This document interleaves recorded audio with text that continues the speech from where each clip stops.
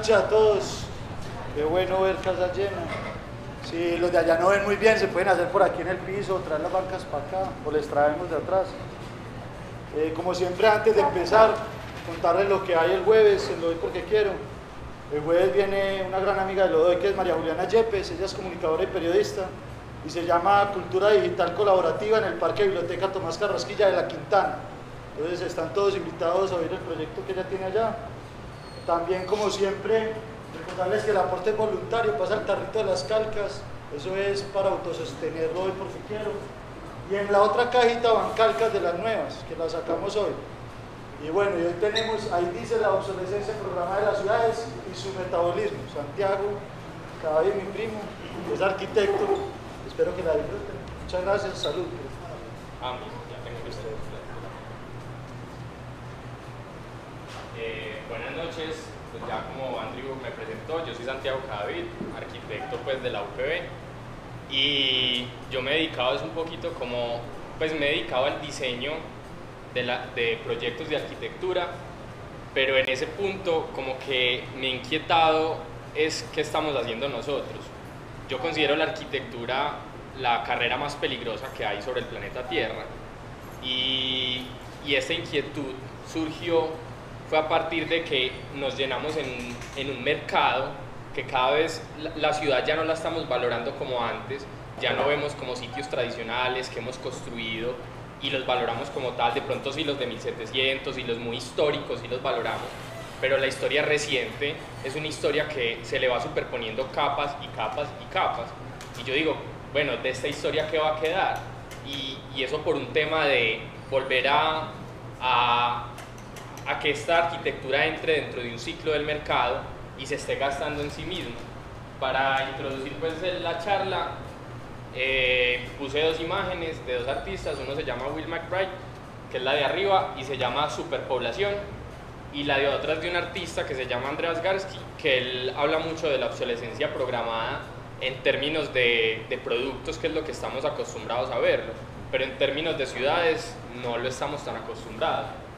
Eh, también pues les quiero hacer una sugerencia, yo no, quiero, yo no vengo pues acá a hablarles de nada de lo que soy experto, sino que me gustaría que esto fuera también como más conversado y si van a intervenir, intervienen y, y conversamos mejor.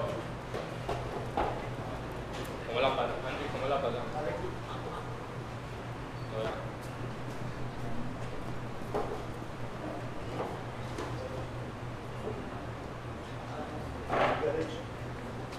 Esta es una frase, pues, eh, como han visto, eh, la sostenibilidad ya se volvió pues como un asunto cliché del mercado en la arquitectura. Ya vemos por todas partes muros verdes, eh, paneles solares, tratando de poner paneles solares en todos los proyectos. Y eso está bien porque, bueno, hay una inquietud, pero no nos estamos comiendo tanto el cuento de qué tan sostenibles realmente son esas tecnologías. para mí se ha vuelto un asunto más de de, los patrones de comportamiento de las personas. Eh, yo considero que, por ejemplo, la sostenibilidad va a ser imposible si seguimos viviendo como vivimos hoy y si tenemos el comportamiento, esos patrones de comportamiento a los que estamos acostumbrados. Esto es una frase de un grupo de arquitectos argentinos que se llama A77 y él dice, la sostenibilidad es incompatible con el orden civilizatorio ligado al estricto consumo. De ahí que la ciudad sostenible adquiera para nosotros el rango de utopía. Es por eso que yo les digo, pues es como una invitación, nosotros tenemos que reevaluar. Y bueno, es muy difícil uno decir, ay, es que yo voy a vivir en otro sistema alternativo y voy a cambiar todo y yo voy a vivir lejano de esto, no, es empezar a actuar un poquito como detectives y empezar a, a tomar decisiones sobre lo que yo hago en la ciudad, cómo me muevo, eh, dónde habito, en qué tipo de edificios habito, qué, qué compro, y, y, así empiezo a tomar un poquito más de decisiones autónomas y no unas impuestas. Eh, este es un libro, pues esta es una imagen, acá van a ver varias imágenes de un libro que se llama The Endless City y son muchas imágenes sobre todo de la Ciudad de México y es como, por ejemplo, estas ciudades están empezando a dispersar por el territorio y estamos empezando a afectar ecosistemas a kilómetros de distancia de, lo, de los cuales habitamos. Eh, esta es una imagen, por ejemplo, de, de, del bosque en Mato Grosso en Brasil y del 92 al 2006 se transformó en esto. Entonces, eh, eso es más como la reflexión de que a pesar de que nosotros habitemos una ciudad, nuestras acciones están repercutiendo en territorios totalmente alejanos a los nuestros.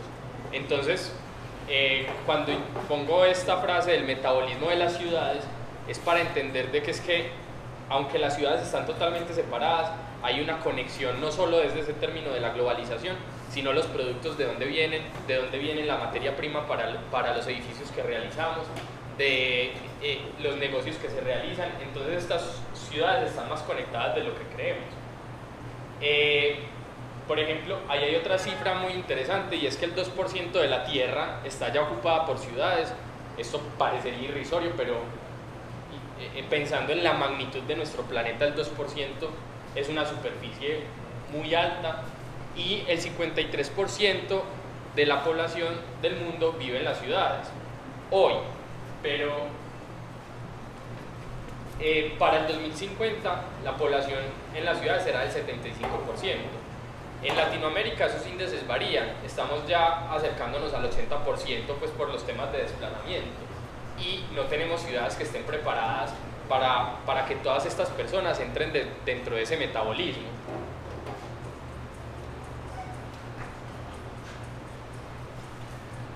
Estos pues son, son imágenes como ilustrativas de ese tema de la conexión de la ciudad y eso también es un, un aspecto muy importante que tenemos que tener en cuenta. El 33% de la población humana vive en estos barrios informales, pero siempre estos barrios informales nosotros los queremos arrasar porque no son las condiciones anheladas que, que se quiere dentro de las ciudades. Pero eh, recientemente pues he estado involucrado en un proyecto no sé si conocen el PUI de la nororiental, han escuchado de ese proyecto, me imagino que quienes son arquitectos sí. El PUI de la nororiental. Eh, es este proyecto en, en, Santo Domingo, pues con el Metrocable, y quisieron toda la transformación de adecuar ciertas viviendas. Eh, este tipo de proyectos no solo, pues lo más famoso, por ejemplo, de este proyecto es la Biblioteca Santo Domingo, pero hay, otro, hay otras estrategias que se han desarrollado, por ejemplo, en estas zonas, que para ubicar las viviendas eh, nuevas que no sean tan agresivas como otras viviendas de interés social que se están desarrollando. ¿Esto por qué? Porque es muy importante al uno intervenir en las ciudades no romper los tejidos que están instaurados. Puede que las personas que habitan estos barrios no, sean, no, no habiten los territorios ideales que el mercado nos, nos ha impuesto, pero hay un tejido social instaurado el cual no se puede romper y que inclusive es más espeso de lo que creemos, es más espeso de lo que sucede, por ejemplo, en el poblado. La calle, por ejemplo, en el barrio Santo Domingo es una calle habitada, está conquistada. La calle en el poblado, no, pues en ciertos territorios se ha logrado conquistar, pero en otros territorios no. Entonces, pues hay una preocupación, obviamente, en términos ambientales, de, de, cómo formalizamos estos barrios, pero en ese proceso de, de, formalizarlos y de decir, eh, es que los vamos a incluir dentro, dentro de la norma, no arrasar con, esos territorios, con esos tejidos sociales. Y ¿Eso por qué? Porque esta, es una preocupación muy importante porque es una de las metas del milenio del mundo. Eh, por ejemplo, la población, eh, pues de la, población actual del mundo, pues aproxima, promediando son 7 billones. La población urbana son 3.6 billones y los que están en barrios de invasión son 862.5 eh, millones de personas en el mundo. Eh, los casos más críticos son Latinoamérica, África y Asia. Y nosotros pues con este tema de, de incluirlos dentro del mercado, pues quienes se han, pues yo no, esta imagen creo que no la tengo tan cercana, ahorita la, la veremos, quienes han visto esos barrios como están generando como un proceso de devastación de esos tejidos sociales y están apareciendo de repente unas torres súper agresivas a ese tejido y, y, uno dice, bueno, sí, hay que incrementar la densidad, pero yo como incremento esa densidad y cómo abastezco de agua a esas personas, cómo no destruyo esos ecosistemas, cómo no destruyo esos tejidos, eh, cómo llega esa gente allá, si ustedes ven por ejemplo el metrocable actualmente ya está en su punto límite, construimos una infraestructura que afortunadamente favoreció a muchas personas, pero si seguimos introduciendo y, y si seguimos en este, en este ritmo de que ya bueno, hay un, hay una oportunidad ahí a partir del metrocable para los constructores de desarrollar ese barrio y entonces todos compran predios a bajo costo eh, dentro pues, del mercado de toda la ciudad y empiezan a densificar eso porque claro, eh, estamos, ¿quiénes, ¿saben qué significa el término de ciudad compacta? Eh, bueno, quienes no sepan, obviamente Medellín está buscando ser este tipo de ciudad, una ciudad que se concentre más, que tenga mayor densidad en un territorio, pero para mí se ha tergiversado un poco este término. Este término no es solo como de más personas por metro cuadrado, sino más vida por metro cuadrado. Cuando me refiero a vida es acciones por metro cuadrado. ¿Cuántas interacciones tenemos en ese metro cuadrado? Que yo baje y tenga un mercado, que yo pueda llevar a mis niños eh, cercano a, la guardería, pero lastimosamente eh, la especulación inmobiliaria se ha aprovechado de normativas como el POT y, y ha empezado a especular y ha empezado a decir, a decir, ah, bueno, es que tenemos que densificar esta zona y esta zona es de consolidación. Entonces el PUI de la nororiental, que tuvo una transformación, puede que en términos arquitectónicos la vivienda no sea muy favorable, pero en términos de, de, analizar cuál era ese, tejido, eh, sí fue un poco, no del todo, porque si vemos pues ese ecosistema todavía es un ecosistema que no se ha, que no se ha reconstruido, eh, y uno ve, por ejemplo, la quebrada Juan Bobo, eh, todavía sufre unos procesos muy dramáticos y está súper contaminada, pero algo se está haciendo. Y, y, de alguna manera, cómo está promoviendo, por ejemplo, que las tiendas de barrio sigan existiendo y, y que los lavaderos comunitarios no desaparezcan. A eso me refiero con que haya muchos usos en pocos metros cuadrados y no mucha gente comprimida viviendo en menos metros cuadrados infeliz. Eh, entonces ahí en nuestras ciudades se convierte en un reto, no solo para los arquitectos, sino para todos los habitantes. Eso es un problema de todos los habitantes. O sea, en el momento en que yo decido comprar, qué decido comprar, dónde decido habitar, si siempre nos están, por todos los semáforos, somos víctimas todos de que nos estén dando esta publicidad de nuevos apartamentos y uno dice, eso, este montón de apartamentos para quién, para, para qué tanta gente está saliendo y, y va a comprar todo eso. Y cuando vemos zonas con unos super apartamentos que, bueno, son viejos, pero, pero son de una calidad espacial y, y están en el mejor punto como son, son, apartamentos que están en el centro de la ciudad. Y como que, pues, quienes han tenido la fortuna de conocer muchos edificios de vivienda en el centro de la ciudad, que tienen las mejores redes hidráulicas, eléctricas, eh, están en una zona donde hay mucha actividad, que puede que dentro dentro de las lógicas de seguridad y de mercado y todo eso no sean las más favorables, pero si nosotros como ciudadanos empezamos a entender de que nosotros mismos podemos generar estrategias a partir de nuestra decisión de rehabilitar estos espacios para que se conviertan en, en, ese diamante bruto que realmente hay, ¿cierto? Y cómo lo rehabilitamos y recuperamos sin destruir esos edificios tan magníficos que hay ahí. Pero seguro pues va a pasar que cuando digan, ay, vamos a recuperar el centro, pues van a demoler todos estos edificios porque no están limpios, porque no están, porque no cumplen ya con la estética contemporánea, porque ya no están con los materiales eh, de una calidad, pues de los materiales que están dentro de esas lógicas de mercado. No, lo que interesa ahí es vender. Entonces eso es, lo que, eso es el reto que nosotros como ciudadanos tenemos. Nosotros, junto con pues, Latinoamérica y Asia, son los territorios que más están creciendo y más están urbanizando y cómo nosotros nos queremos urbanizar. En ese sentido crece, surge otra inquietud y es el tema del paradigma del desarrollo.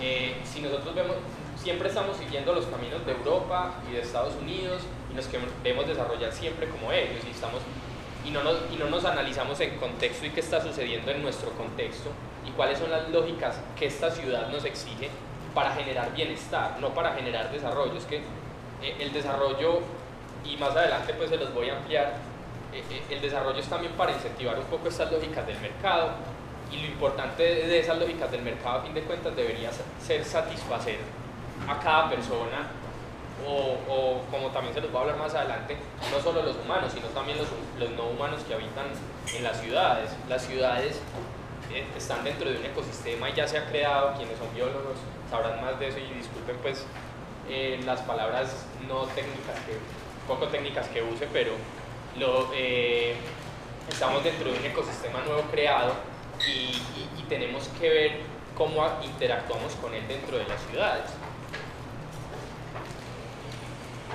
Esto pues no, no, se los ilustré, pero miren la tasa de urbanización de Latinoamérica, eh, es la naranjada como está creciendo. Y por ejemplo, cómo se está cambiando los papeles.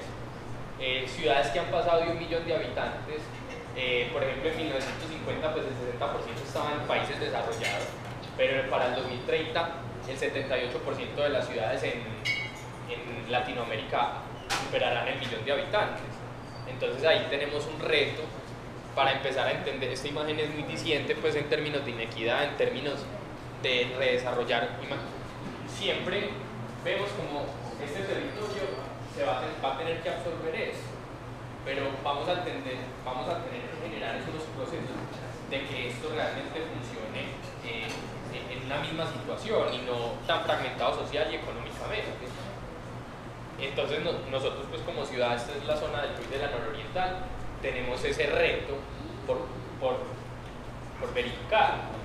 Y ese reto también pues es en términos ambientales, acá es cuando les hablo del metabolismo de las ciudades. Nosotros, Colombia, Colombia es uno de los países más ricos pues en agua, como todos sabemos, en, ecosistemas y en biodiversidad. Eh, esas manchas rojas indican las zonas más importantes en términos de biodiversidad. Y ahí hay un reto muy importante porque por eso les decía al principio, la arquitectura ya es considerada una de las carreras más peligrosas del planeta Tierra porque dentro de las ciudades eh, se produce el 75% de las emisiones de CO2 y, no solo pues es en vehículos ni nada, sino que de, ese 75% el 60% se hace en la construcción de edificios. Entonces, y no solo en la construcción, porque pues eh, quienes, saben, quienes no saben de arquitectura, los arquitectos no solo nos dedicamos a diseñar y a construir, también se planean las ciudades y se planean los territorios. Entonces, por dónde cruza una carretera, por dónde, que al final eso lo resuelve un ingeniero y son equipos multidisciplinares. Pero todas esas lógicas, eh, la arquitectura tiene, tiene una responsabilidad muy fuerte y los habitantes también. Los habitantes como usuarios de eso tienen que empoderarse de, todos esos procesos que se están desarrollando en las ciudades para, para exigir a esas profesiones mejores condiciones. Esto, pues, esta es una imagen muy ilustrativa que, que muestra cómo está concentrada la población abajo, con el mouse, lo amarillo es donde está concentrada, pero la huella humana ya ocupa el 80%, entonces a eso es lo que me refiero, que aunque una ciudad, no sé, ocupe X hectárea, pues eh, su huella ecológica es X a N. Entonces, puede que sí, Medellín tenga un área, pero nosotros, por ejemplo, le estamos quitando el agua a otros municipios. Y eso cada vez va a ser más problemático, entender esos procesos, por ejemplo. Dentro de la legislación colombiana está que si, por ejemplo, los municipios de donde sacamos agua para el Valle de Aburrá deciden, pues dicen, no vamos a, pues esa agua la necesitamos nosotros, la legislación lo permite, ¿y qué hace Medellín? Y dentro de la legislación colombiana, por ejemplo, está que dentro del perímetro urbano no se puede recoger agua lluvia, solo a partir de una cota para arriba se puede recoger agua. Entonces, esa normativa se está quedando obsoleta porque, claro, estamos esperando a que los otros municipios digan, no, ya no le cerramos pues el chorro y, y ustedes en ese momento, ¿qué van a hacer si no tienen una ciudad preparada para esos momentos de crisis que no está tan lejana como lo creemos, todos lo vemos muy lejano?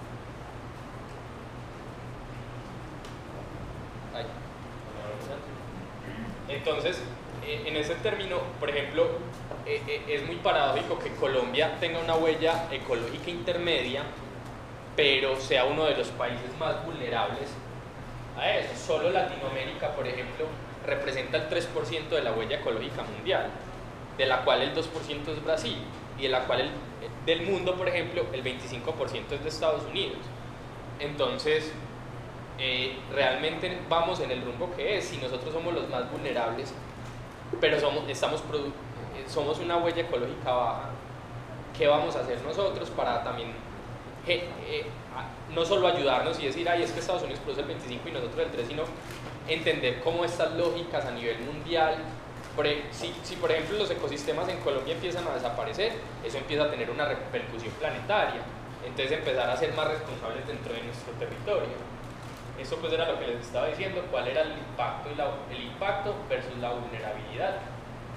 Y eh, cómo por ejemplo, los países tienen un término que se llama biocapacidad. Eh, esos recursos no son infinitos. Va a haber un momento en que va a desaparecer la capacidad que tiene, que tiene de regenerarse nuestro ecosistema para alimentar todas nuestras necesidades. Eso ya se está igualando. Entonces nosotros cómo vamos a hacer para romper eso? Eso es un término, eh, están estudiando ya una nueva lógica de cómo generar un nuevo sistema, eso se llama desacople. Eh, cómo en este momento está muy ligado, por ejemplo, el bienestar humano con el desarrollo económico y, esperen que lo olvide ese triángulo, el bienestar humano, el desarrollo económico y la generación, ah no, ¿me recuerdas Carlos por favor? Y el consumo de recursos, bienestar humano, entonces cómo romper ese triángulo para que, bueno, se siga favoreciendo la generación económica, se, que se reduzca el, el consumo de recursos, pero se satisfaga el bienestar humano, cómo romper eso y qué prácticas sirven para romper eso, para que esa biocapacidad no se merme. Eh, este otro cuadro, pues no alcanzan a leer mucho, eh, empieza a ilustrar, por ejemplo, eh, las actividades según componentes. La verde que está más arriba son los asentamientos humanos. ¿Cómo inciden esos asentamientos humanos en la huella ecológica? Y si vemos, pues la que produce mayor huella ecológica es el término de los asentamientos humanos, no los combustibles, que sí es muy importante como están aquí, pero, pero por ejemplo los asentamientos humanos son todavía más peligrosos. Entonces, eso era lo que les decía ahorita, el sector de la construcción es uno de los que más emite pues, las emisiones de CO2.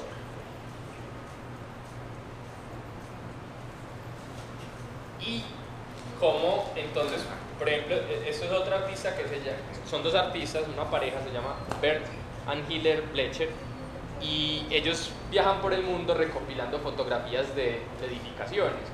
Y uno dice, y es lo que pasa acá, por ejemplo, cuántas veces las constructoras venden el mismo edificio y esto se, se vuelve una repetición. Vemos, solo medio le cambian la fachada, eh, mueven la cocina y no hay un pensamiento del usuario, del contexto, donde se inscribe. Entonces uno dice, ¿dónde quedan esas lógicas de cada uno de los, de, los espacios y de los territorios que, que, se diseñan.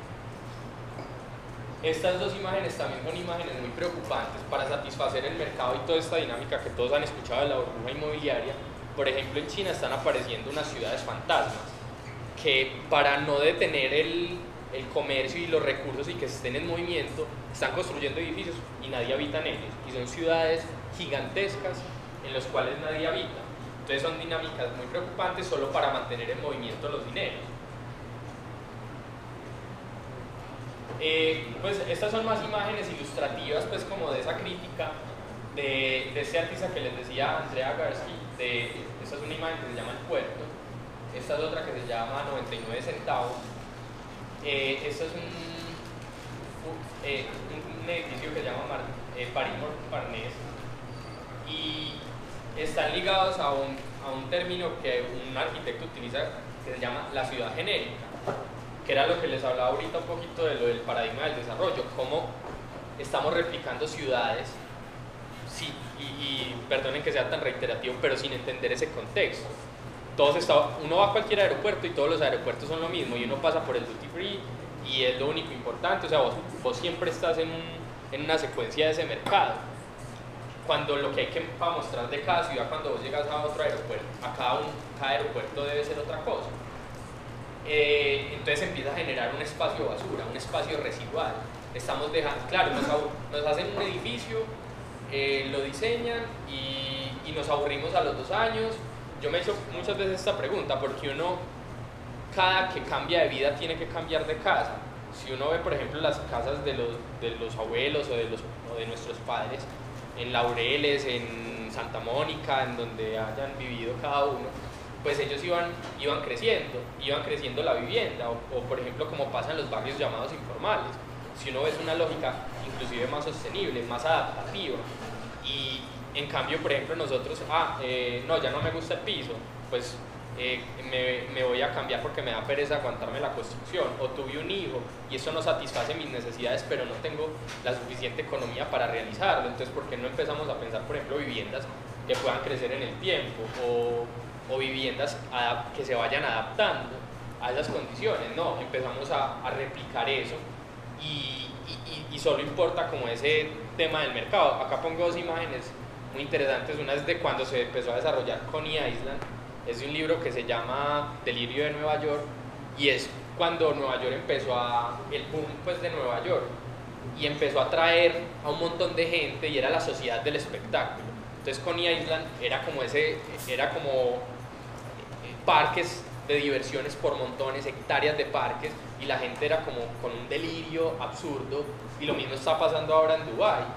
Eh, más adelante, por ejemplo, del 2000 al 2010 se construyó esa ciudad prácticamente y es ese boom y todos esos edificios y, y ese gasto energético y uno no se explica, bueno, y es que en serio, dentro de las ciudades no hay suficiente infraestructura, ¿de dónde apareció tanta gente en 10 años para evitar eso? Se cansaron de compartir territorios con las otras personas y decidieron crear su, su, su, su nicho. Y somos ciegos a, todo eso, a, a todos esos procesos de la ciudad. Por ejemplo, claro, eh, primero poníamos las basuras en, Moravia. Ah, la ciudad empezó a crecer y, y ya Moravia nos estorbaba.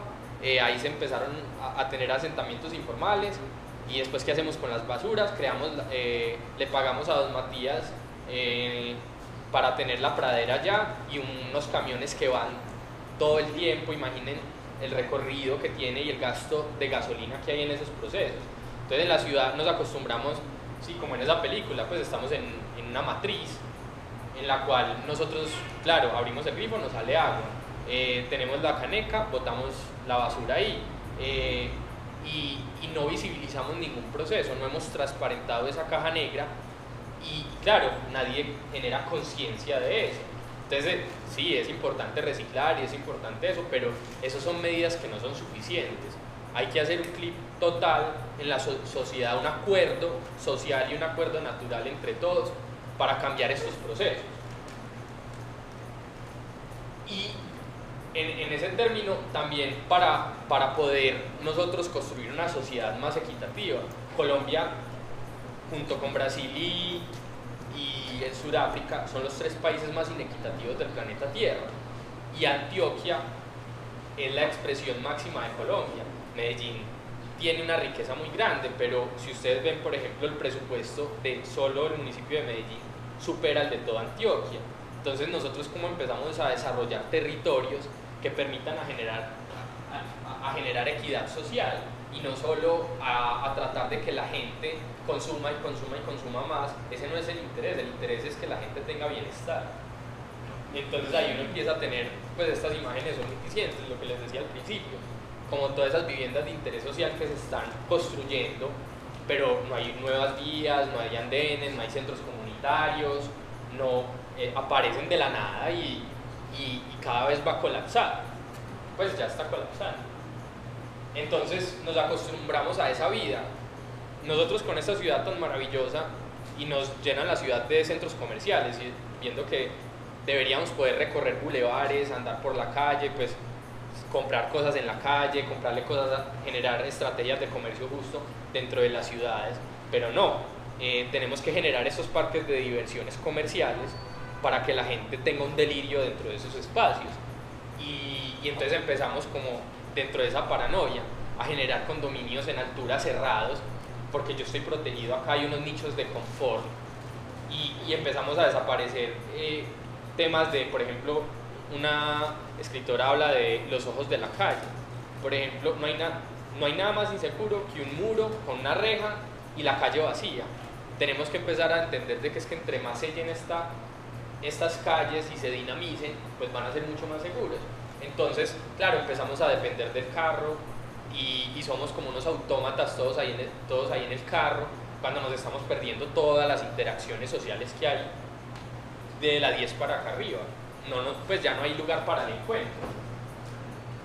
Eh, y entonces, pues esto me quedó saltada ahí, pero esto es del tema anterior. Eh, eh, cada vez, sí, queremos una ciudad compacta, pero es que también hay unos procesos que, que se están desarrollando paralelo a, a, esos ideales de ciudad compacta que son imposibles de tener. Uno dice, ay, sí, eh, la ciudad compacta, esos procesos empezaron más o menos aquí en el 2002, pues eh, venían desde antes, pero Medellín empezó a hablar cada vez más de eso en, en ese tiempo. Pero como vemos, el proceso de desplazados ha ido en aumento y cómo esa barrera que hemos tratado de generar para que la ciudad no empiece a crecer, ese límite cada vez se va ampliando y se va ampliando y va destruyendo ecosistemas. Entonces vamos viendo que pumas están dentro de la ciudad y no es que aparecieron de la nada, bueno, seguro en procesos pues, continentales ellos empezaron a tener otras rutas de migración y todo eso, pero muchos de esos felinos han estado ahí. O todo, por ejemplo, el proceso de urbanización de, de Medellín ha sido muy particular y siempre es un proceso como de segregación social. Estuvo Prado Centro, cuando los nuevos ricos empezaron a llegar a Prado Centro, se desplazaron a Laureles, los, los, originales, porque no querían convivir con ellos, entonces generaban nuevos nichos de confort. Eso mismo pasó con el poblado y ahora cuando colapsamos el poblado, pues inventemos otro territorio arriba en la espalda, ¿cierto? Y, y vamos dejando unos residuos ahí que, que entonces, ¿qué, ¿qué, ¿qué, va a pasar? Pues ya, y no se construye tejido, cada vez se va disolviendo ese tejido social y esas interacciones. Si uno ve, por ejemplo, la gente en estos barrios, que hay unas cosas por corregir en estos barrios informales, pero también hay unas cosas por aprender muy valiosas. La gente se saluda, la gente se conoce, la vecina le cuida al niño. Lo, lo que hablamos, por ejemplo, ahorita de Moravia, cuando trasladaron las personas para, para el occidente, quienes no, quienes no saben, pues lo reubicaron en unas viviendas de interés social allá. Ahí rompimos muchas estructuras sociales que existían. Por ejemplo, seguro la vecina le cuidaba al niño a la que iba a trabajar y en, cuando los ponen a vivir en estas otras zonas, ese tejido se rompe, esas pequeñas interacciones se rompen, ese bienestar se disuelve. Y entonces esa es una inquietud que, que es mucho más valiosa que, ah, vendámosle un apartamento nuevo o formalicémoslo, ¿cierto?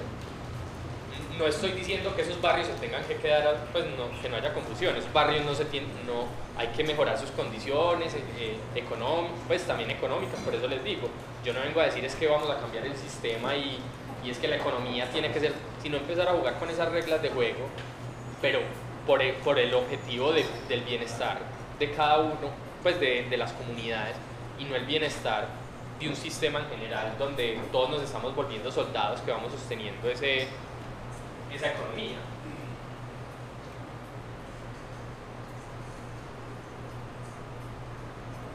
Pues esto también ilustra más pues eh, lo que les decía, por ejemplo acá está en más oscuro las zonas con un nivel más bajo económico y las zonas más altas con un nivel económico superior y esas zonas de desastre. Entonces nosotros cómo empezamos a actuar en estos territorios para significar esos procesos y, y sin romper esos tejidos, que, que, eso era lo que les decía ahorita.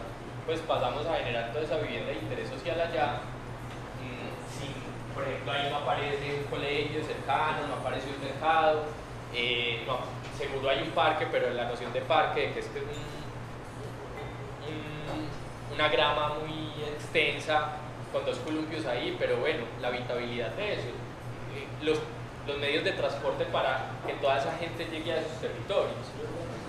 Eso es en Occidente, no Occidente.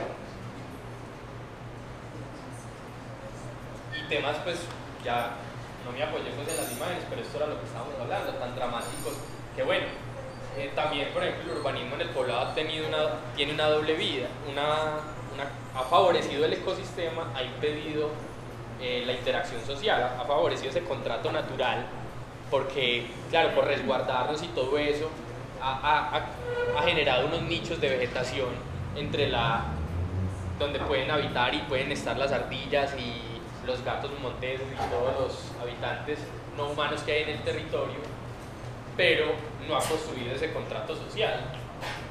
Eh, este es un cuadro eh, que realicé con ayuda de mi padre y ilustra cuántos eh, cuántos territorios necesita el poblado para abastecerse. Entonces está en términos de habitantes, eh, de viviendas, de renovación de viviendas, cuántos materiales de construcción usan, eh, un promedio de consumo de agua, de electricidad, de gas. Entonces, para abastecerse el poblado, el poblado necesita 257 veces su territorio. Entonces, eso es lo que decimos. Pues el poblado está aquí, sí, pero es que el poblado está incidiendo 257 veces lo que es él. Eh, pues eso es una tabla de conversión pues que yo tampoco entiendo muy bien, pero factor de que traslada las, las entradas, los consumos y los residuos, los traslada con un software, yo no lo entiendo, pues, eh, a, a, eso cuántas hectáreas equivale y, y da un total que son 257. Este territorio está muy por encima, por ejemplo, del promedio de ciudades llamadas desarrolladas como Londres, promedio de Londres es 178 y el promedio de todo Medellín es, está entre 40 y 45. Entonces eso es un tema que, que, es muy dramático y pues imágenes ya que el territorio nos está empezando como a exigir, pues nos está dando unas alertas. Claro, le metemos la culpa al ingeniero y seguro tiene yo no sé nada de ese proceso, pues seguro tiene un grado de culpa, seguro el constructor tiene un grado de culpa, pero es que también desde que legislamos que este territorio, hay un geólogo que se llama Michel Hermelin, yo no sé quiénes lo conozcan, él hace mucho tiempo viene diciendo que es que este territorio va a colapsar y esto se va a ir repitiendo cada vez, ojalá no, ojalá no, pero lamentablemente estamos en una situación muy vulnerable y ese es de los primeros llamados que, que, no hemos previsto.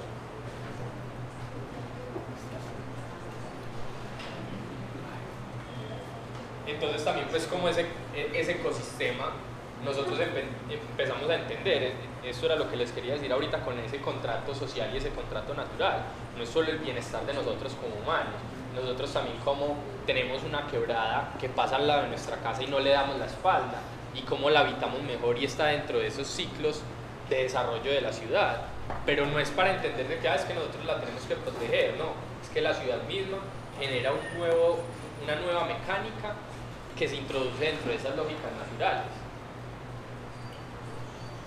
Eh, eso lo habla mucho eh, pues un filósofo que se llama Michel Serres y él habla de eso es lo primero que tenemos que cambiar, las visiones que tenemos frente a la naturaleza y cómo nos relacionamos con ella. Entonces hay una visión que es como proteccionista, porque es que de allá extraigo los recursos. La, la naturaleza es una despensa, ¿cierto? Y así es como la hemos estado viendo. Está la de los ecologistas, con el respeto de los ecologistas, pero es como nosotros somos superiores a todos y los tenemos que proteger, ¿cierto? Y, y hay una que empieza a entender una nueva relación, que es una relación simétrica. Mm, lo que realmente hay que proteger la naturaleza, o sea, lo, lo que sucede con la sostenibilidad y lo que busca la sostenibilidad es que sí, hay que proteger la naturaleza, pero la naturaleza borra nuestra huella en 200 años. Entonces realmente lo que, lo que queremos es protegernos a nosotros. Queremos disfrutar de esas especies y protegerlas porque queremos disfrutar de ellas.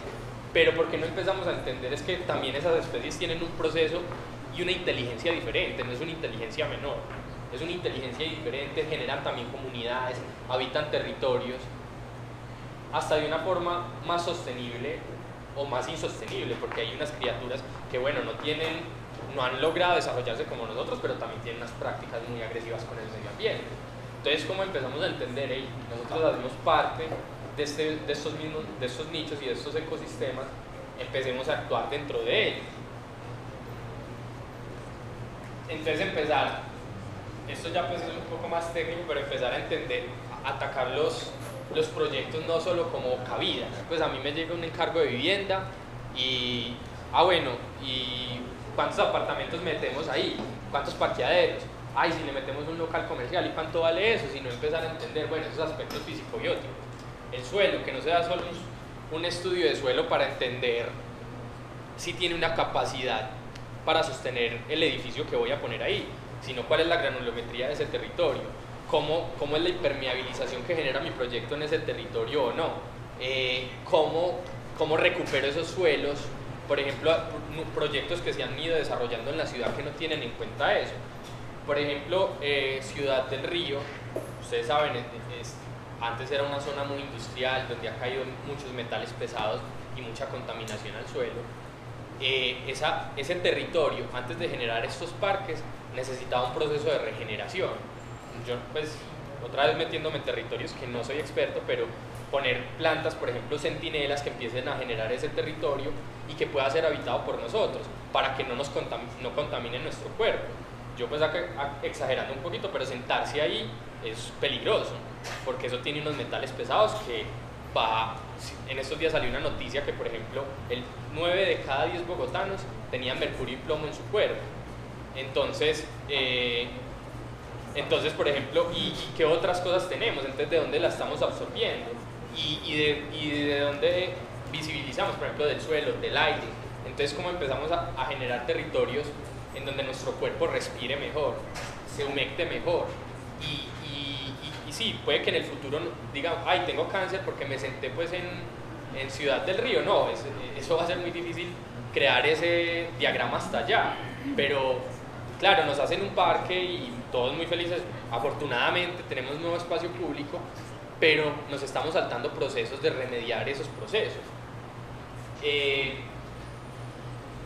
entonces, esos aspectos físico-bióticos, socioculturales y económicos, como les hablaba ahorita de sostenido social, y esas interrelaciones entre sociedad y naturaleza y ambientes construidos. Eh, y empezar a hacer, pues, tener esa parte de la sostenibilidad, balance ecosistémico, entender los consumos de recursos, esos impactos ambientales, esa huella ecológica, lo, eh, lo que les decía ahorita, desacoplar ese triángulo, el bienestar humano, la cohesión social, la identidad, la autenticidad de los territorios y la cultura, y también en términos económicos, empezar a entender, bueno, cómo crece si rompiendo ese triángulo y cómo se genera más equidad y eficiencia eh, sin, atropellar eh, los diferentes actores que entran en conflicto. Y eso, pues empezar a entender también procesos ancestrales, esa arquitectura de tierra, de fibras, maderas, recursos alternativos y cómo lo mezclo con tecnologías nuevas que se han desarrollado. Eh, generar nuevos detalles constructivos, esos procesos de producción y economía que, se realizan. Eh, también pues eh, la sostenibilidad eh, tiene muchos matices y yo empezaba a entender y a recopilar a partir de un artículo que alguna vez leí que se llama Reinterpretando la sostenibilidad en arquitectura en lugar de la tecnología, él habla, de, de, un autor que se llama Simon Guy, él habla de, de seis variables de la sostenibilidad que uno tiene que tratar de incluir dentro de un proyecto tema técnico, sí, cuáles son esos desarrollos técnicos, pero comprobados, que no solo sean un asunto de mercadeo, que yo pueda implementar a, a las ciudades y a los proyectos. Eh, ecocéntrico, que es lo que les hablaba ahorita, tener una huella ecológica muy baja. Ecoestético, eh, ¿por qué no empezar a generar? La estética no es solo si es bonito o feo, sino vos cómo afectas a la es el proceso de cómo afectas al otro y, y cómo le haces visible esos procesos y cómo le generas conciencia cultural, eh, ese cambio en los patrones de comportamiento. Nosotros cómo empezamos a estudiar nuevos, nuevas formas de comportarnos y de tomar decisiones. Alguien alguna vez me dijo que una lavandera del siglo XIX tomaba más decisiones que una persona contemporánea. Entonces, y creo que es, es muy cierto. Eh, desde la parte médica, pues cómo se cualifica la vida y la salud de, de los humanos y de los no humanos y de, la, y de lo ecosocial. El tema de la participación es vital. Por ejemplo, en los proyectos, aunque uno después vea a Santo Domingo, vea los colegios eh, que se han desarrollado alrededor de la, de la ciudad, la participación ha sido muy importante, que se ha desvirtuado porque se generan como unos talleres de imaginarios que sí, escuchamos a la gente y ya, pero incluir esas personas le disminuye muchos procesos a, quienes son los técnicos para entender esos contextos y poder generar proyectos acorde a esas realidades sociales. Entonces, pues eh, yo puse ahí pues dentro de la práctica en la que he estado involucrado y con quienes he estado involucrado diferentes estrategias como desde la perspectiva de mi profesión de cómo atacar eso y tal. Entonces, lo que habíamos hablado, esa compactación urbana. Entonces, Los Ángeles, una ciudad que se ha dispersado el territorio, entonces nosotros como empezamos a, lo que les habla ahorita, a compactar ese territorio en términos de interacción y cómo empiezan a haber como eh, radios de, de, interacciones de acuerdo a las actividades que generen y a cualificar ese espacio que habito con diferentes actividades. Por ejemplo, eh, Eh, eh, en las, por acá está, muestra cómo sí se ha demostrado que la compactación favorece ese metabolismo de las ciudades. Como por ejemplo, una ciudad de baja densidad tiene un, gasto, un consumo de recursos tan alto y una de baja densidad en un país industrializado tiene menor y por ejemplo una de alta densidad en un país eh, no industrializado tiene esta tasa inferior. Entonces, ¿qué hay también para aprender de esos países no industrializados que permitan generar nuevas prácticas? Eh, voy a pasar pues, un poco más rápido aquí, esto era porque ya lo hemos hablado. El desacople, esto era lo que les decía ahorita. ¿Cómo garantizar que el bienestar humano, también pues, el crecimiento económico, pero que se reduzca el consumo de recursos y el impacto ambiental, ¿cierto? Y eso a partir de repensar las prácticas eh, con que pensamos la ciudad. Eh, estos pues son sistemas que, por ejemplo, son sistemas que, que han mercantilizado, no sé si esté correcto el término, pero que ha mercantilizado el, el, la sostenibilidad, pero tienen algunos valores de los cuales uno puede, puede, que puede estudiar. Este, se llama, este es un sistema LEED que es de certificación de, que se le ponen a los edificios pues, para decir, este edificio cumple ciertos requisitos ambientales y lastimosamente pues lo han vuelto como, como un producto ¿Perdón? Que lo han vuelto un producto. Porque inclusive hay muchas prácticas que también son sostenibles que ellos no certifican y porque no están dentro de sus lógicas de mercado, ¿cierto? Entonces... Además que eso se puede, por ejemplo, el tema de la responsabilidad ambiental, se puede cambiar por dinero. Claro, no, obviamente. Entonces eso no, tiene lógica. Y eso, o sea, vos puedes pagar, o sea, puedes pagar ciertas cosas y, y estamos diciendo, se puede, se puede y se puede garantizar cierta economía, pero realmente cuál es el fin? Que mostremos que somos verdes o que estamos siendo está generando un desempeño de que realmente somos verdes. Eso es lo que yo le critico a eso, porque yo he estudiado este sistema y me, y me, he dado cuenta que he aprendido muchas cosas de él, pero me he dado cuenta que es que el fin de él es más como si fuera un Herbalife, de generar como un, como un, pues sí, con el respeto de quienes lo utilizan, pero de generar con ¿cómo se dice? una pirámide de que, ay, sí, todos tenemos que ser LEED y quien no sea certificado LEED entonces no es ambientalmente sostenible.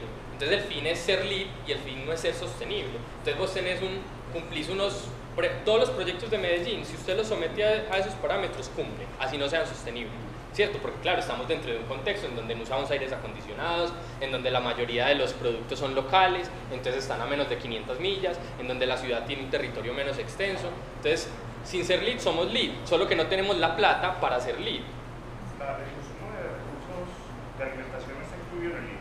Creo que no. Entonces, pues está, ahí es en términos de construcción. Por ejemplo, que de, dónde viene la materia prima para construir los edificios, a menos de 500 millas, entonces te dan unos puntos. Eh, el consumo de, del agua, ¿cierto? Yo no voy a decir que es totalmente negativo. el cuestionamiento mío es más en términos de que cuál es el fin. Entonces vos, y, también por ejemplo, para vos certificarte, tenés que tener como un asesor lead, que él tuvo que hacer un examen y pagar una plata muy, pues, pues mucho dinero para poder certificarse y, que inclusive hay unos profesionales en nuestro territorio que tienen los certificados y un conocimiento mayor, pero no tienen el dinero para certificarse, entonces ese edificio no se puede certificar. Entonces ahí es donde yo me hago la pregunta, por eso digo, él tiene muchos valores, pero ¿cuál es el fin realmente? Generar un sistema y aprovechar y generar un nuevo mercado, que como te digo, sí, es viable, pero mi, mi cuestionamiento es ¿cuál, es, ¿cuál es el objetivo?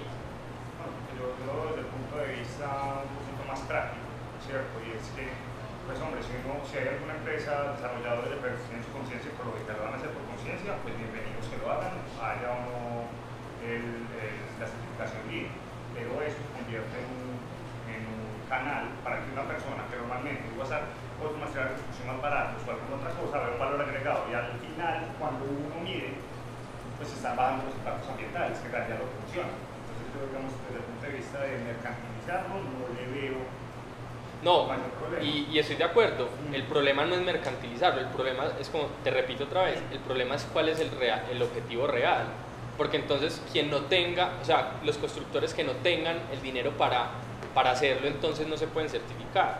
O, los, o, o las personas que tienen buenas prácticas no tienen derecho también a visibilizar esos procesos y a recibir esos beneficios.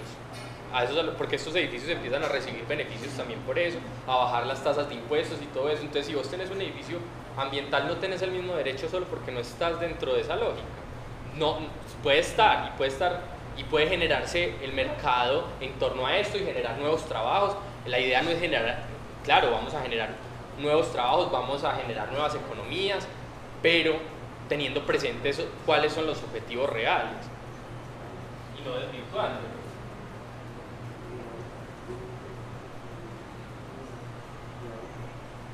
Eh, eh, pues esta es otra estrategia que era la que les ejemplificaba con el, con el centro, por ejemplo, una estrategia de segunda vida, nosotros como empezamos a encontrar ciertos territorios para cortar ese, ese consumo de recursos y esos procesos, si nosotros reciclamos un edificio y, y, y, y lo adaptamos nuevamente, ¿qué, ¿qué, puede suceder y qué valores podemos encontrar? Esto pues fue lo que les hablé como en términos de desacople, cómo generar un nuevo concepto de desarrollo, cómo seleccionar materiales de bajo impacto, reducción de uso de materiales, optimización de las técnicas de producción, eh, reducción del impacto ambiental durante el uso, la optimización de la vida del producto y la optimización del fin de vida del sistema. Eh, eso para entender que, por ejemplo, pues en términos de visibilizar eh, en términos de visibilizar los procesos, por ejemplo, hay que entender que también nuestros edificios, bueno, para cuántos años lo construimos, como pensar también cuál es la demolición de ese, de ese proyecto, dónde van a ir a parar esos residuos, o si se va a poder adaptar a otros usos cuando el uso no sea adecuado. Esto pues ya se los expliqué, voy a pasar un poco más rápido. Son ya como imágenes ilustrativas de lo que ya hemos hablado del metabolismo de las ciudades, cómo se mueve la gente en diferentes ciudades, en Río de Janeiro, en Buenos Aires, en Nueva York, si camina, si usa transporte público, eh, motocicletas, ¿cierto? Eh, y el impacto, por ejemplo, de todos esos procesos de, esos sistemas de transporte de cada uno, entonces como vemos pues el carro privado es el que tiene el, mayor uso de esa energía. Eh, también pues ya por medios gráficos empezar a concientizar, pues miren por ejemplo cómo se movilizan 60 personas todas en el carro, cómo se movilizan en bicicleta y cómo se movilizan en el transporte público. Son como imágenes como para empezar a generar conciencia. Esto es una frase pues que de Peñalosa que decía que un país desarrollado no es un lugar donde los pobres tienen carro, sino donde los ricos usan el transporte público. Entonces empezar a, entender, a comprender esas nuevas conductas del consumidor y esas nuevas prácticas, ¿cierto?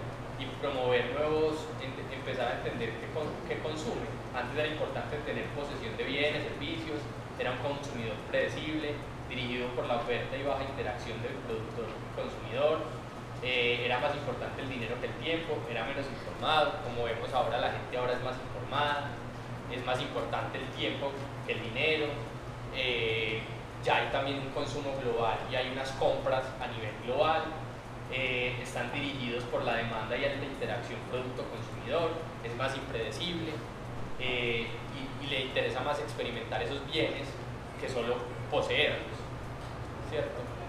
La estrategia 5 era, pues, esta se las he ilustrado mucho, la arquitectura como parte de ese ecosistema, entonces, como no hay solo una entrada y salida de recursos, sino como esos recursos empiezan a tener un metabolismo circular y un metabolismo lineal de ciudades.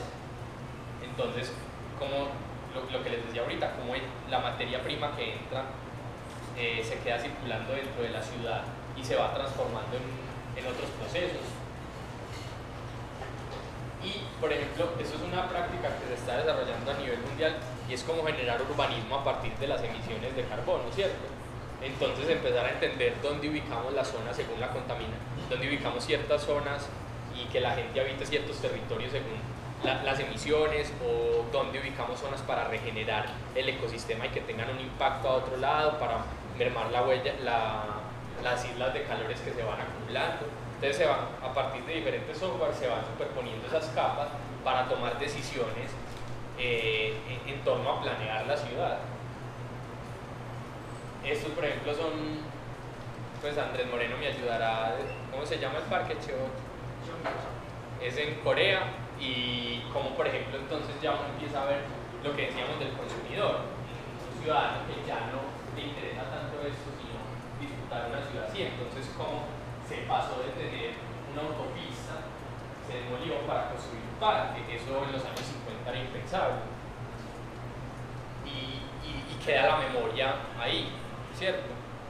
Y vamos recuperando esos espacios y esos nuevos nichos.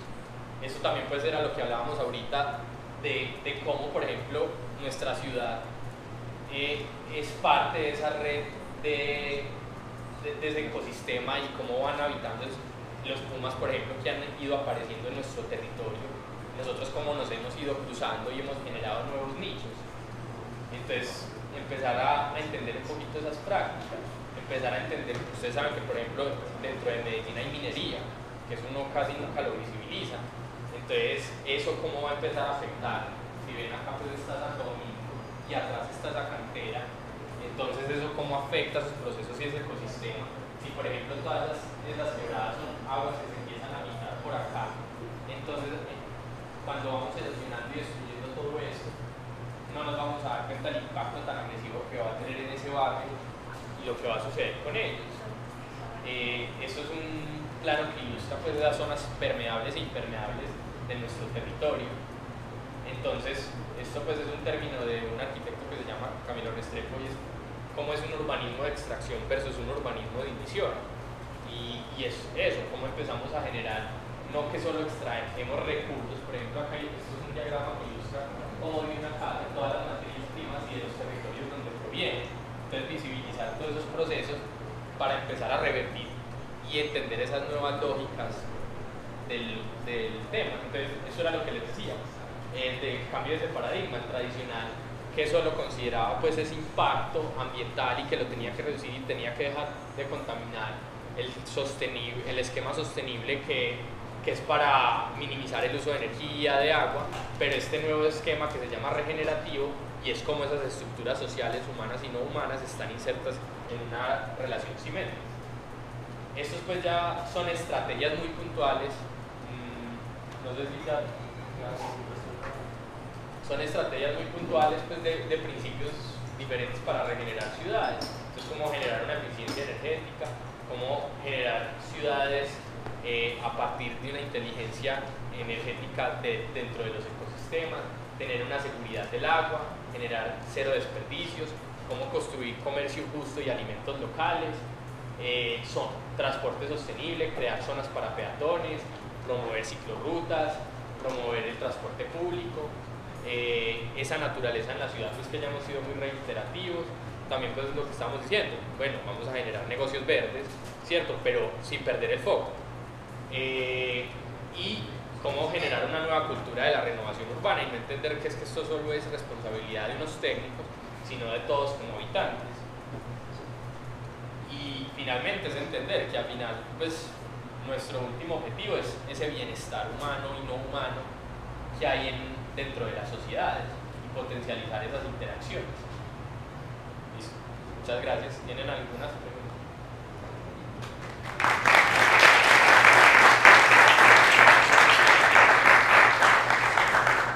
Si alguien quiere preguntar o decir algo de la, de la, interacción y de la importancia, y eso digamos es muy claro y es muy intuitivo de, de lo importante que es las interacciones. Lo que yo no sé es si eso se puede medir de alguna forma. ¿Hay alguna metodología para medirlo, para saber, pues, digamos, si un proyecto es, es exitoso o no? O, porque si uno se va con eso, bueno, es que esta gente lo pone mal, o que lo pone bien, y se queda como una sola narrativa, pero formal.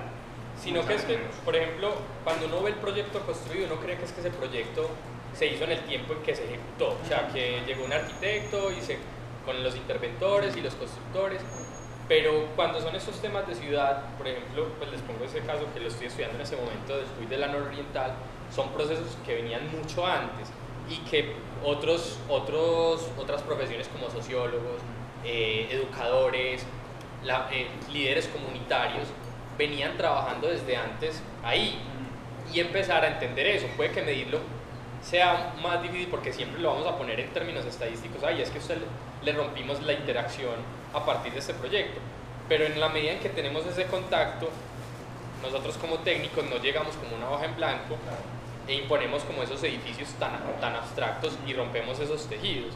Entonces, puede que no sé si, yo no conozco la metodología, seguro un sociólogo te la responderá mejor, pero sí sé que ellos hacen unos procesos muy exhaustivos que muchas veces nosotros desde el punto de vista técnico y constructivo no los vemos relevantes.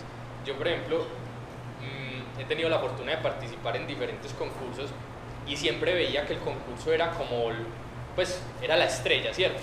Y era como el arquitecto famoso y se ganó el concurso, pero después empecé a entender que es que realmente ese concurso y poner el proyecto era la cereza en el pastel, ¿cierto? Era, bueno, rematamos el proyecto y acá está. Pero detrás de eso había un montón de gente trabajando durante tantos años para que eso se diera. Y mm, yo creo que eso sí está medido, pero por ejemplo, eh, uno ve la, la, diferencia que aunque son la misma metodología, por ejemplo el PUI de la nororiental versus los nuevos PUI que se están desarrollando, hay mayores valores en, en, ese, en ese primero que en los otros, porque los otros por el afán de mostrar resultados se han impuesto y aunque es una metodología y es la misma práctica, no se le ha dado como un proceso para entender y asimilar eso dentro de las comunidades. Entonces casi que cuando uno va a poner un proyecto se tiene que hacer parte de la comunidad y, y meter mucha gente ahí a trabajar de lleno y de conocer a las personas y de generar confianza. Porque es que el problema, el problema de, de modificar territorios en Medellín es que no hay confianza. Somos una ciudad de miedos. Entonces, inclusive, por ejemplo, en Santo Domingo la gente se amarraba a los postes y no querían la biblioteca y todo dentro de nuestra lógica está como una biblioteca va a mejorar la vida de las personas, pero, pero eso no es tan lógico para, para gente que ha, que ha sufrido tantas situaciones, entonces usted tiene que empezar a construir confianza y empezar a, generar eh, situaciones de participación. Y yo creo que si hay unas metodologías, yo no las conozco, que son medibles, pero ese proceso en sí mismo y esa interacción durante tantos años de planificación antes de la ejecución son fundamentales para ejecutar un proyecto. Yo, eh, pues en, ese momento siempre estuve involucrado en, la ejecución, pero yo me empecé a preguntar como en esos concursos como cuáles son los intereses reales que hay detrás de esos concursos. Es para satisfacer como ciertas necesidades políticas, que es lo mismo, no es perder el foco, o es realmente para mejorar estos territorios, o es un poquito de los dos, porque bueno, no vamos a hacer de pronto ahorita era un poco categórico lo que te decía, es que no vamos a impedir el crecimiento económico, no vamos a generar, dejar de generar nuevos mercados, el político va a querer ganar las elecciones y generar cierta popularidad. Esos son procesos que dentro de esta situación como la tenemos hoy no los podemos negar, pero pero sí hay que empezar a entender, bueno, yo a qué proyecto me inscribo, yo qué hago, y puede que muchas veces uno cuando ejecuta los proyectos cree que está haciendo algo, pero realmente está haciendo todo lo contrario, pero uno se empelicula en esos proyectos y, y no empieza a ver todos estos procesos de ahí para atrás que, sucede, que, que, que consolidaron esos proyectos. No sé si...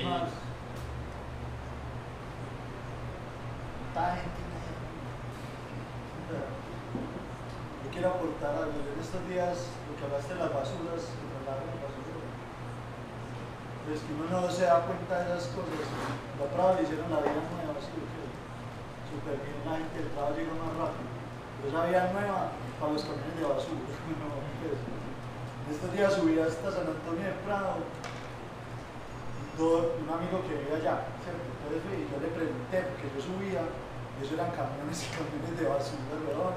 la carretera ya después de Prado ya está vuelta mierda, ya está toda esa carretera pavimentada ya es pedazos destapados, pedazos en que ya solo cabe un carro, hay que esperar que baje uno para uno subir y viceversa. Entonces pregunté en la finca, yo como, hey, pues ustedes cómo les ha ido, sea, muertos, porque los basura andan como locos, entonces ya por ejemplo el mayordomo de la finca en la que yo estaba, lo un camión los lixiviados que eran en toda la calle, también han producido un montón de accidentes, de motos sobre todo, los, las carreteras se las ganaron todas, pues si eso no le toca a uno, pero toda esa región, toda esa zona de que es Mexicali, pues Medellín, un municipio que es soberano, está muteada de cuenta de basurero.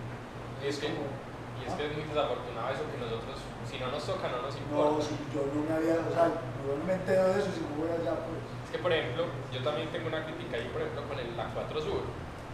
yo he escuchado muchos comentarios de gente que dice, ay no, es que qué semejante puente para llegar a semejante barrio.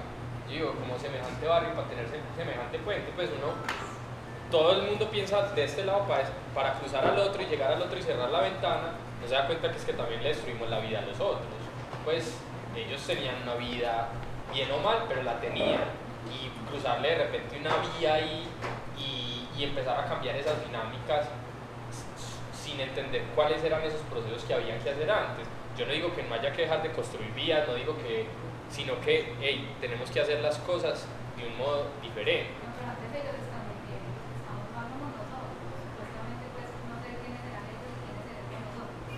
pero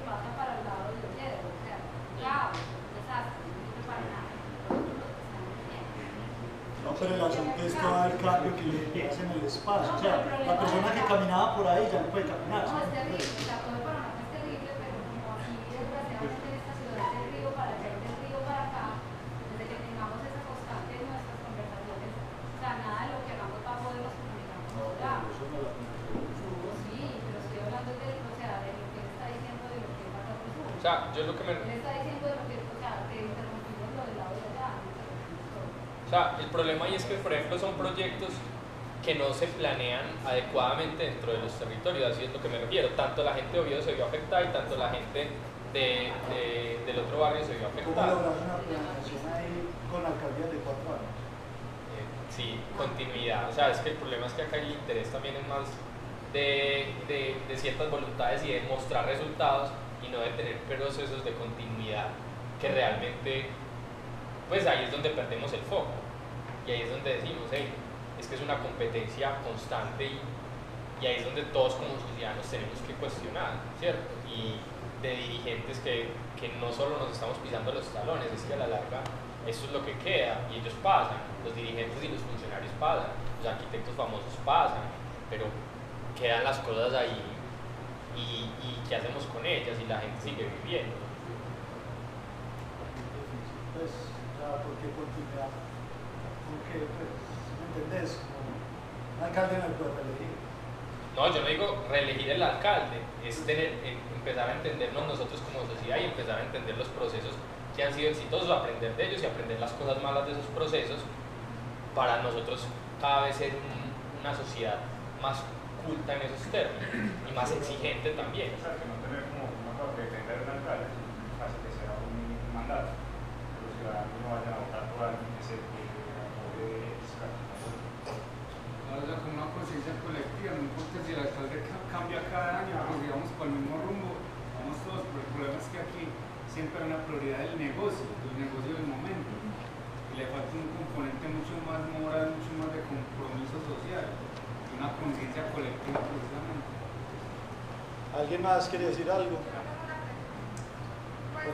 con toda la ignorancia, no sé cómo funciona el tema de las curadurías urbanas y qué competencias tienen, cómo son, nom- cómo son nombradas y si de pronto, pues, como cuál es la incidencia de esas curadoras, de esas curadurías en el- la forma tan desordenada y poco sostenible como se expande y en comillas se desarrolla por la ciudad. Eso pues, yo conozco algo, pero no soy un experto tampoco en el tema. Las curadurías también son un negocio, no son privadas. Antes eso lo, lo manejaba planeación y ellos tenían unos vehículos que iban a registrar. No, ahora vos sacas una licencia, ellos medio te re- ni te revisan los planos, sino que los planos tienen que cumplir ciertas condiciones, mandarlos estructurales. Yo no entiendo muy bien cómo es el proceso, pero si, si te quieren parar el proyecto y te quieren joder por algún interés particular, te paran. Si no, pasas desapercibido. O si, o si ellos tienen un interés en tu proyecto, también te lo aceleran. Entonces es una dinámica que no está, yo no, pues desconozco el tema, qué pasa ahí, pero yo sé que, es- que no es una dinámica que te vayan a revisar. En las horas en que yo he estado, nunca se ha aparecido pues, un curador a ver si construimos más o menos. Inclusive sucede mucho que, por ejemplo, uno tiene un índice de construcción en un edificio y hacen unas pérgolas y ustedes no sé si han tenido la oportunidad en los edificios que viven, que después a las pérgolas les ponen eh, eh, unos policarbonatos.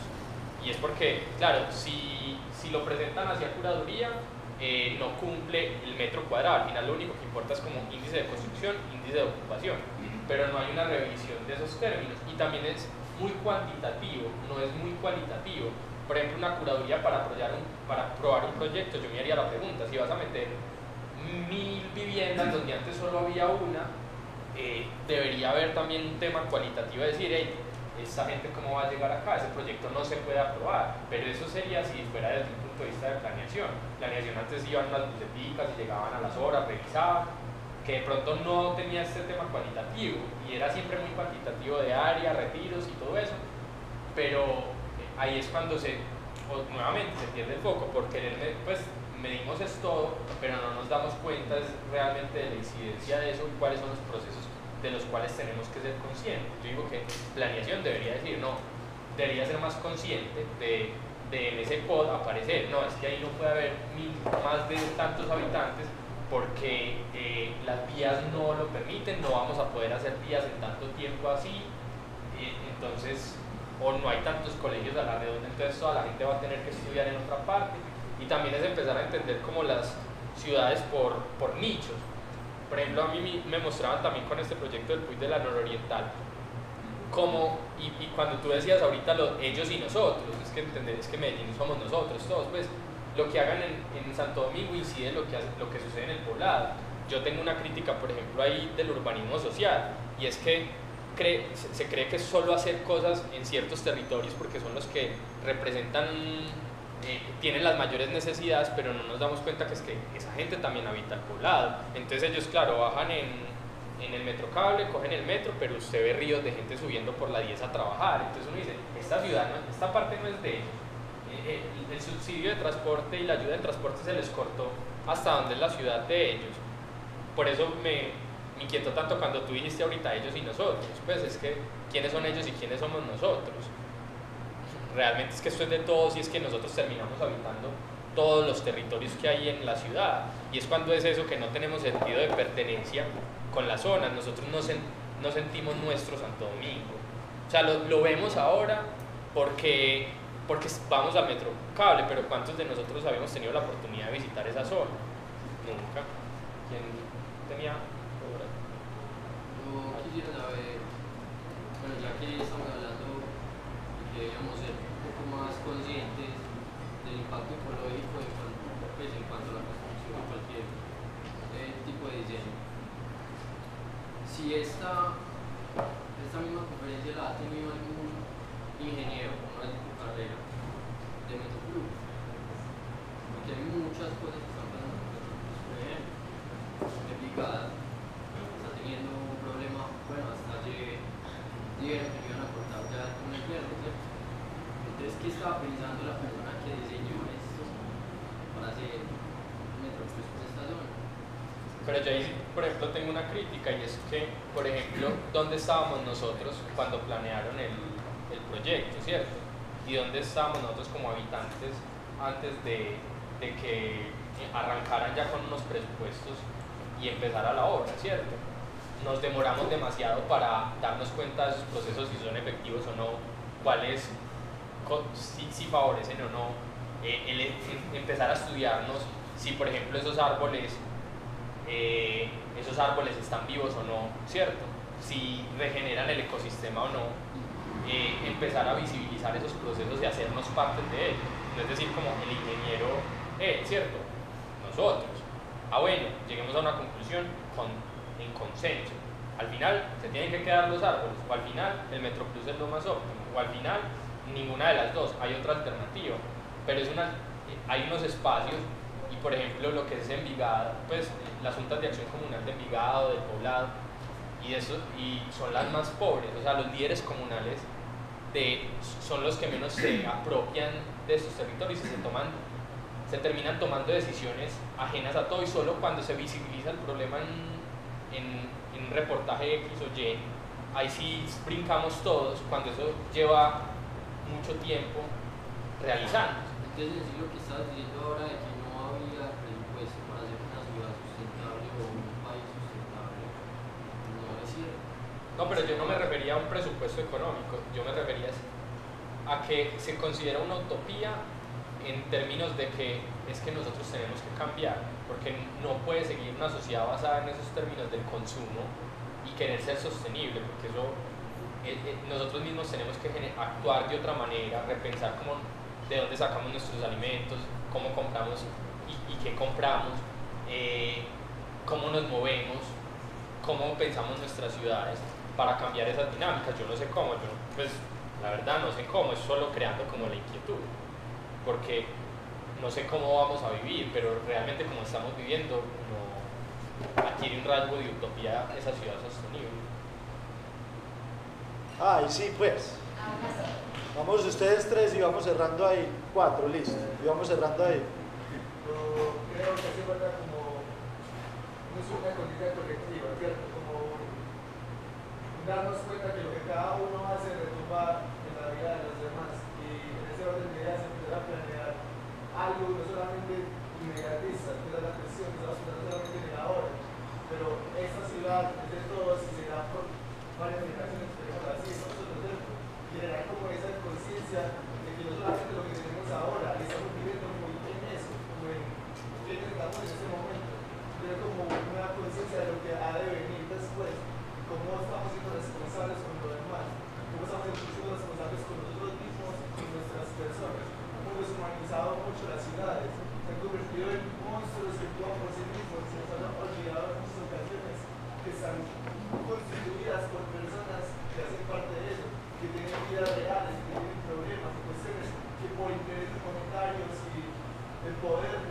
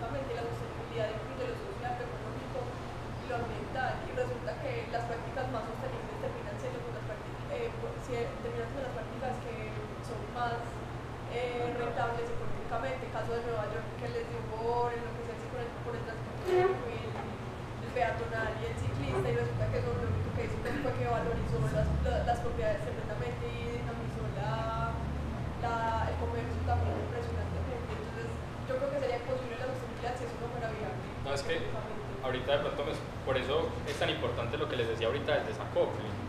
Es, bueno, garantizar un bienestar económico, ¿cierto? Pero no es esa obsesión, ¿cierto?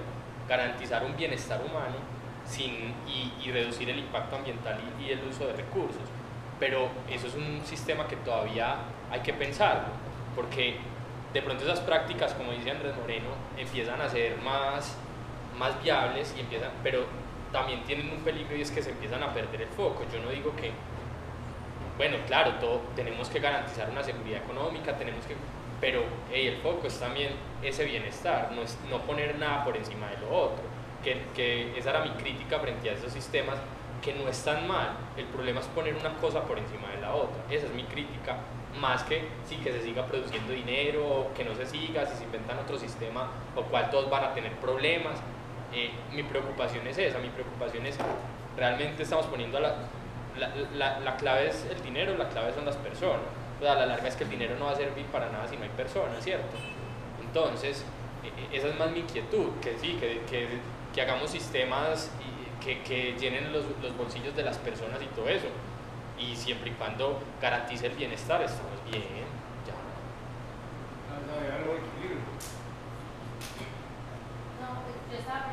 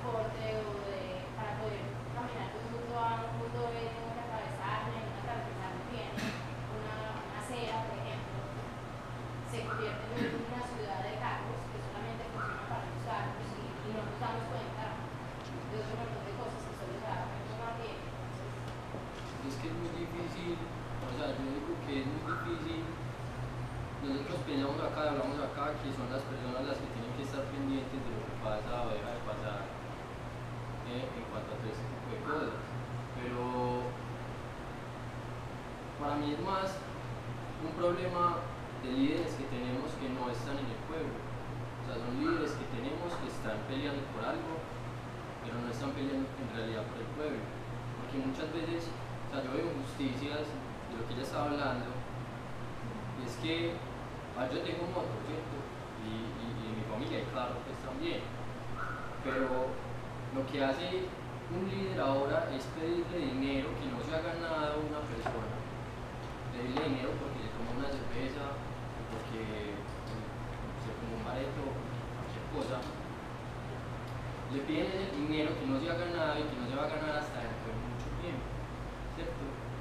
Pero no piensan en que si sacaron, por ejemplo, un transporte público que andara, yo tuve la oportunidad de vivir en Londres y el único, el único factor que hizo que disminuyera el índice de accidentalidad eh, por, por alcoholismo eh, fue, fue poner transporte público 24 horas. Pasa cada una hora, cada dos horas, y en algunos pasa a las 3, a las 5 de la mañana, pero uno sabe que ahí está el transporte y que uno se va a subir en el transporte y lo va a bajar en su casa. Es- pero pero en, este, en este caso aquí en Colombia lo que hacen es sacarle dinero a las personas y caiga otra vez para volver a cobrar. Y caiga otra vez para sacarle, darle el pase o para, para joderlo. Entonces muchas veces las personas son pendientes de lo que pasa, llegan a un punto, mm, exponen ante las autoridades lo que pasa, pero estas autoridades nunca van a, a sentir lo que en verdad el ciudadano está sufriendo. Que un, un tráfico pues va y, y, y si le hicieron un parte en su vida normal, no de tráfico, le quitan el parte porque son amigos y porque no pasa nada y, y, y, y después los, los eliminan que porque caducaron, ¿cierto? Pero no están pensando en realidad que tienen que, pues, no solamente nosotros tenemos que estar pendientes de esas cosas porque nosotros no somos los que estamos adjudicando estas como sí, como estas posiciones o diciendo que sí pueden hacer este edificio o sí pueden hacer esto en el Cruz, sí pueden hacer estas cosas, en realidad son los líderes que no están con el pueblo pensando por el pueblo, no están ellos pensando en su, en su beneficio económico. Tengo que cerrar, los voy a dejar ustedes dos y ya ahí sí nada, se quedan conversando y quieren acá sí o qué. Dale, cortico. pero- pues, sí. Yo creo que, sea, además de que hay el rédito de generar esta conciencia colectiva, también hay otro reto muy grande, y es el siguiente. Eh, sabemos que muchos arquitectos, ingenieros, constructores, empresas de bienes raíces, entidades públicas, finalmente se buscan en estimular proyectos. Entonces, ¿cómo se puede proponer concretamente a estas personas que estos proyectos se hagan de una manera mucho más, mucho más pensada, como decías, reflexión primero cuanto al habitante, al contexto, cómo se puede generar una propuesta clara y concreta que no sea solo como afectando a la sociedad, sino a estas entidades para generar este cambio en la concepción de sus proyectos.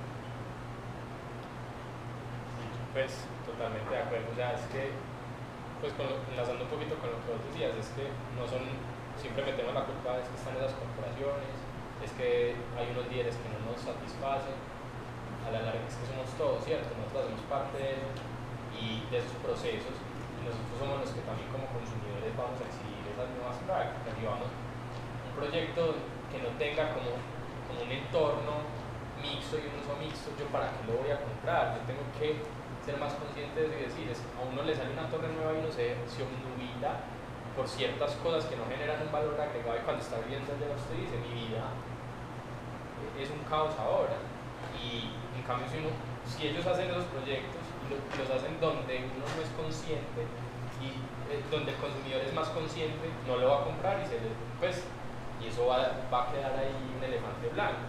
Entonces ellos van a entender que es que somos consumidores más inteligentes estamos más empoderados de información. Lo mismo, somos ciudadanos y votantes más inteligentes y estamos inscritos dentro de, de esas tomas de decisiones.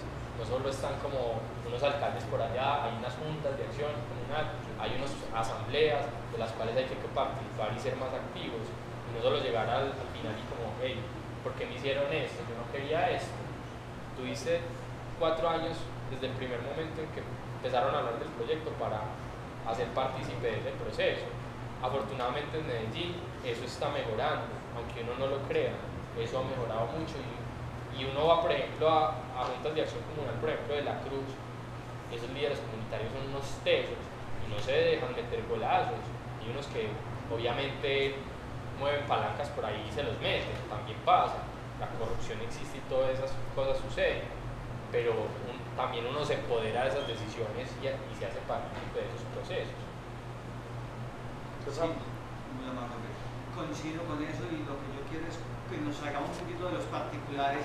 Por ejemplo, puedo controvertirte, no estoy de acuerdo con que ataquemos las normas con el consumo de alcohol, porque es defender la vida. Podemos pensar en eh, si se hace económicas las medidas ambientales, y yo creo que casi todas en un mediano plazo son rentabilísimas.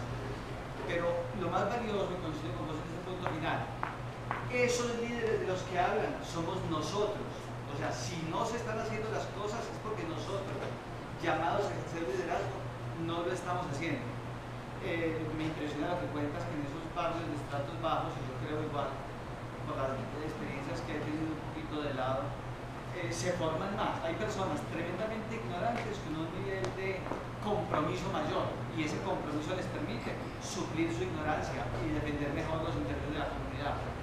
¿Cuánto podríamos hacer tomando más conciencia? Este es un foro interesante.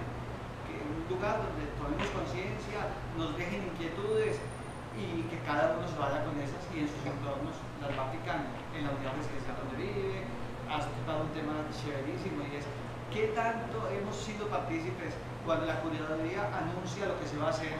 Tenemos derecho a impugnar una obra, a decir, no estoy de acuerdo, hicimos de acuerdo al voto. ¿Cuántos de ustedes han visto algo que sienten que ofende su vecindario? Se han cuestionado, ¿qué podemos hacer para frenarlo? Nos quejamos, nos enojamos, pero hay caminos, hay instancias. hay Pero hacer. Uno, pre- o sea, ¿has visto el cartel amarillo que ponen cuando inicia? Tú ahí mismo te diriges y dices, eh, yo soy vecino de la obra y no estoy de acuerdo con eso, estoy impide esto, y empiezan a estudiar el proceso. Y No, un buen ejemplo de eso fue lo que pasó en el sector de conquistadores con la vivienda de interés prioritario. La comunidad se quejó y la pararon. Se volvió una especulación. Bueno, y hoy estamos en un momento de la vida privilegiado, donde cada uno se puede pronunciar y hacerse escuchar con estrategias adecuadas de comunicación en las redes sociales, generando estrategias inteligentes para hacerse escuchar. Eh, estamos en un momento privilegiado y estos espacios nos abren la mente y nos aumentan el compromiso. Yo creo que tenemos más compromiso al salir de aquí hoy que que teníamos cuando llegamos, porque sabemos cositas nuevas. Bueno, Como siempre, invitarlos a este jueves que viene María Juliana Yepes, ella es comunicadora y periodista y tiene un proyecto en, el Parque Biblioteca Tomás Carrasquilla La Quintana, que se llama Cultura Digital, Cultura Digital Colaborativa. Al que no le llegó el tarrito y quiera aportar algo está por acá. Muchas gracias a todos y disfruten el bar como siempre.